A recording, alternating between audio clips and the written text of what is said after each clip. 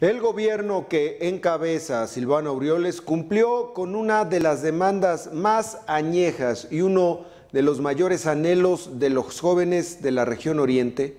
al inaugurar el primer edificio de la Universidad Tecnológica del Oriente de Michoacán que atiende a 350 alumnos, hombres y mujeres. Fíjese usted, esta noticia es de las meras buenas primer edificio de la Universidad Tecnológica del Oriente de Michoacán.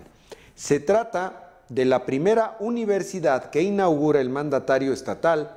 en lo que va de su administración, como parte de las acciones para fortalecer la infraestructura educativa en todo el estado.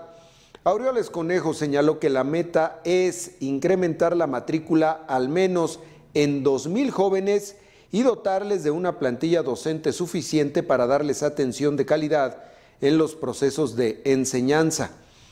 Es mi compromiso garantizar el derecho a la educación de nuestras niñas, niños y jóvenes y estamos trabajando con el respaldo del gobierno federal para darle estabilidad y rumbo al sector educativo en nivel más básico, que nunca más haya una escuela cerrada, puntualizó el gobernador. Cabe señalar que tras 20 años de gestiones ante diferentes instancias se pudo concretar esta primera etapa de la Universidad Tecnológica del Oriente de Michoacán.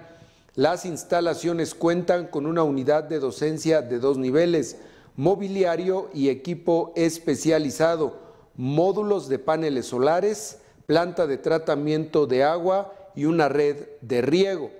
La titular del Instituto de la Infraestructura Física Educativa del Estado, la arquitecta María Guadalupe Díaz Chagoya, detalló que se han invertido más de 104 millones de pesos en 48 obras y acciones en escuelas de todos los niveles solamente en el municipio de Marabatío.